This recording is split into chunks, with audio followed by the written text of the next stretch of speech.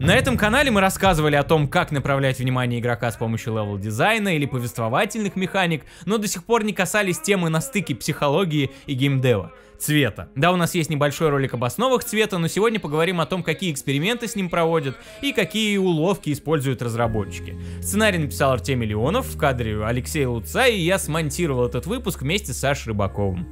Начнем.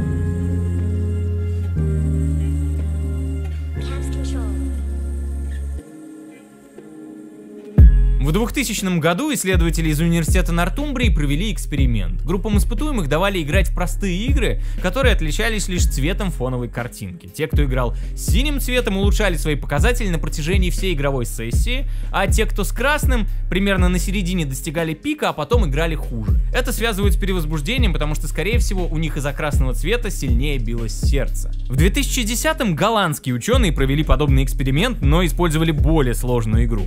Они создали несколько локаций в редакторе сценариев для Neverwinter Nights. Чтобы пройти игру, нужно было побывать в четырех комнатах, каждую из которых окрасили в свой цвет. И небольшое отступление, чтобы вы не подумали, будто бы мы сейчас начнем втирать какую-то эзотерическую чушь. Согласно исследованиям Роберта Платчика, психолога, который работал задолго до появления видеоигр, каждый цвет можно соотнести с некой простой эмоцией. К примеру, по его версии, голубой соответствует удивлению, темно-зеленый – страху, желтый – радости, оранжевый – предвкушению, красный ярости, а темно-синей печали. Исследователи со своим экспериментом в Neverwinter предположили, что наиболее часто игроки испытывают удивление, страх, радость и ярость. Поэтому в ходе эксперимента использовали соответствующие цвета. Голубой, темно-зеленый, желтый и красный. И выяснилось, что наибольшее удовольствие испытуемые получали в желтой комнате, тогда как в красной сильнее волновались. Причем есть нюанс, когда их спросили, кто себя считает опытным геймером, а кто новичком, оказалось, что только на новичков цветовое восприятие существенно оказывало какое-то влияние, тогда как опытным было вообще все равно. В 2011 году специалисты из университета Огайо попытались выяснить, насколько цветовая палитра игры влияет на эффективность игрока. Для своего эксперимента они использовали редактор уровней для Half-Life 2. Оказалось, что зеленое освещение влияет на результат негативно. Испытуемые проходили уровень дольше и чаще погибали по сравнению с теми, кто играл при синем, красном или нейтральном освещении. А еще ученые выяснили, что игроки ощущают более сильную эмоциональную связь с локацией, в которой доминирует некий определенный цвет. На нейтральные уровни они реагировали в меньшей степени. Этим пользуются создатели абстрактных игр. Обычно уровни в них визуально очень похожи друг на друга, и разработчики окрашивают их в разные цвета, чтобы вызвать у игроков эмоции. Как отмечают разработчики Херман Талликен и Джонатан Бейли в своей статье для Гамасутра, смена основного цвета это дешевый способ создать иллюзию разнообразия контента.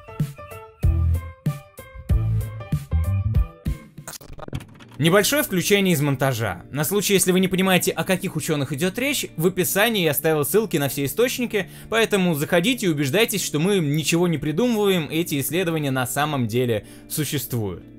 А теперь продолжайте смотреть ролик. К подобному выводу пришла еще одна группа ученых. В ходе эксперимента выяснилась связь между насыщенностью цвета и ощущениями игрока. Чем более насыщенный цвет, тем выше вероятность того, что игрок испытает радость или подобные позитивные чувства.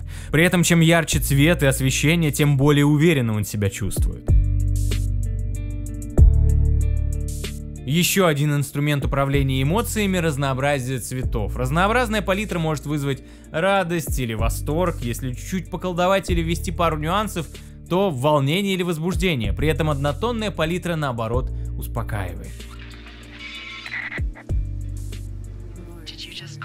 Для более наглядной иллюстрации зависимости между насыщенностью, яркостью, разнообразием цветов и эмоциями игрока ученые составили специальную диаграмму. Опираясь на эту таблицу, можно проследить, какие эмоции разработчики стремятся вызвать у игрока на протяжении игры. Например, Джорни по задумке должна вызвать умиротворение, поэтому локации в ней довольно однотонны. При этом основной цвет меняется на протяжении игры от уютного оранжевого к более холодным цветам. По цветовым палитрам в популярных играх можно проследить, как менялась мода на цвета от года к году. Так, например, в 1987 году палитры пяти самых успешных игр пестрели яркими красками, а в 2012 наоборот доминируют более тусклые оттенки синего и коричневого. Это было вызвано в том числе тем, что многие разработчики намеренно снижали насыщенность цвета, чтобы добиться более реалистичного визуала. Повальное увлечение тусклыми цветами даже привлекло к появлению мема «реалистичный значит коричневый» коричневый. Вы этого не ждали, оно пришло, интеграция нашего продукта. Мы в школе запускаем курс по концепт-арту, где тебя научат работать с цветом, композицией, с акцентами, чтобы сделать твою работу более узнаваемой.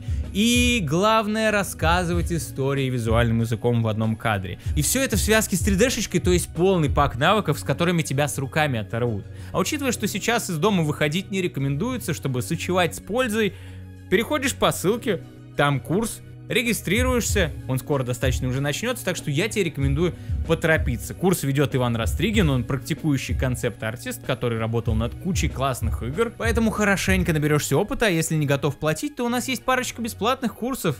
Ты не выходи из комнаты, не совершай ошибку, лучше заходи к нам, у нас тут тепло, весело, интересно, уютно. Я все сказал, продолжаем. Еще одна важная функция цвета в играх — разграничение противоборствующих сторон. Например, одна будет окрашена в красный цвет, а другая в синий. И тут тоже есть нюансы из психологии. Например, Джейми Мадиган, психолог и автор блога «Психология видеоигр», обращает внимание на особое свойство красного цвета. Подсознательно он ассоциируется с агрессией, доминированием и высоким уровнем тестостерона. Этот феномен был давно известен в спорте. В среднем судьи склонны принимать решения в пользу спортсменов именно в красной форме. Плюс красный свет психологически давит на их противников. Как выяснилось, это работает и в играх. К примеру, в 2007 году красная команда побеждала в Unreal Tournament на 5% чаще, чем синяя. С одной стороны, это не так уж и много, с другой, многовато, чтобы списать на чистую случайность. Стоит ли вам всегда выбирать красную команду, если есть такая возможность? Исследования показывают, что это точно не повредит. А может быть и поможет. Создатель The Inner World Анджин Анхат выделяет три основных варианта расцветки двух противоположных команд. Синий и красный, зеленый и красный, синий и оранжевый. Он объясняет это тем, что разница между этими цветами наиболее заметна для человеческого глаза. В 17 году шведский исследователь Матиус Мансен решил разобраться, влияет ли цвет на восприятие персонажей. Он показывал испытуемым двух персонажей разного цвета и спрашивал, кто из них злой, а кто добрый. Оказалось, что однозначно добрыми цветами игроки считают зеленый, белый и в чуть меньшей степени синий. Однозначно злые красный и черный. Желтый и фиолетовый тяготеют к добру, а коричневый и серый к злу. Но при этом только в одном из 15 сравнений у респондентов было четкое мнение о том, какой персонаж добрый, а какой злой. Подобным стереотипам разработчики следуют далеко не всегда. Например, рассказывая о создании Шангрила для Far Cry 4, арт-директор игры Джошуа Кук объяснил, почему разработчики решили окрасить зло именно в синий цвет, который, согласно исследованиям психологов, считается добрым. Им нужно было что-то, что контрастировало с красно-золотой палитрой Шангрилы и казалось чужеродным в этом мире, ну и плюс ассоциировалось с синей формой противников из основной игры.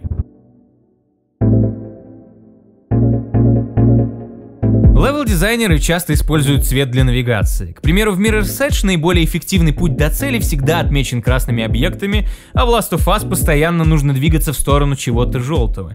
Это известный психологический трюк. После пары желтых дверей мозг игрока подсознательно начинает искать вокруг желтые вещи. Наиболее эффективным в этом плане некоторые считают именно красный, из-за того, как его воспринимает человеческий глаз. Но исследования показывают, что в этой роли может выступать любой цвет, главное тут постоянство. В 2007 году исследователи организовали эксперимент. Игроки должны были провести машину по черно-белому городу, и когда подъезжали к развилке, одни из них должны были повернуть в сторону желтой стрелочки, другие в сторону синей. В какой-то момент на дорогу вылетал мотоцикл, и водителю нужно было резко повернуть, чтобы избежать столкновения. Если цвет мотоцикла соответствовал цвету стрелочек, по которым должен был следовать водитель, то игрок реагировал гораздо быстрее и с большей вероятностью избегал столкновения. И поскольку мозг привык вычленять на экране синие стрелочки, он отреагировал и на синий мотоцикл. Левел-дизайнеры пользуются этим свойством мозга, чтобы заострять внимание игрока на нужных им объектах.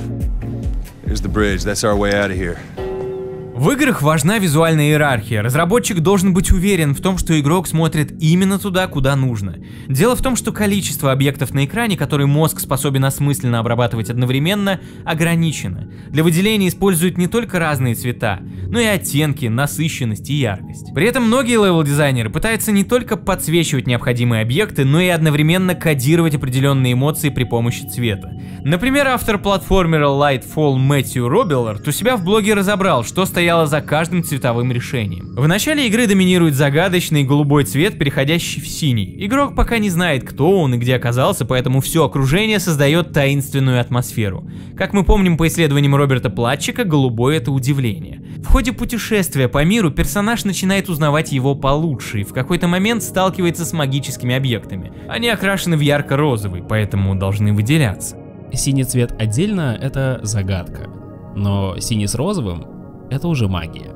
Добавляйте цвета на уровень медленно, делайте так, чтобы они соответствовали эмоциям, которые игрок должен испытывать. В итоге у вас получится иммерсивное путешествие. По мнению Робиларда, при работе с цветами вовсе не обязательно использовать стереотипы. Розовый цвет ни у кого не ассоциируется с опасностью, а ведь в Lightfall используются кристаллы, которые убивают игрока, если он их коснется. Но разработчику не понадобилось дополнительно подсвечивать их красным и ставить табличку «Осторожно, розовые кристаллы опасны». За него все сделала цветовая палитра. Увидев ярко-розовые кристаллы посреди тусклого синего мира, игрок немедленно понимает, что с ним что-то не так. Создайте смертельно опасный желтый банан, или добродушного красного медведя. Игроки хотят чего-то оригинального, так предоставьте им это. Самое главное, чтобы цвета правильно сочетались. По подобному принципу работает уже упомянутая Шангрила из Far Cry 4. Практически все окружение выполнено в красной золотой палитре, но все интерактивные объекты, от веревок до взрывающихся урн, сделаны оранжевыми. По словам арт-директора Джошуа Кука, оранжевый достаточно гармонично сочетался с золотым, но при этом был достаточно заметен на его фоне. Изначально на плейтестах игроки бегали вокруг объектов и не могли понять, что с ними делать, полностью игнорируя огромную ручку на боку. Но как только мы ввели в игру оранжевый цвет, эта проблема исчезла. И для того, чтобы выделить определенные объекты, не обязательно делать фон однотонным. Распространенный вариант. Понижаем насыщенность фона и оставляем ее точечно в тех местах, на которых нужно сфокусировать внимание. Таким образом, разнообразная палитра не будет мешать глазу зацепиться.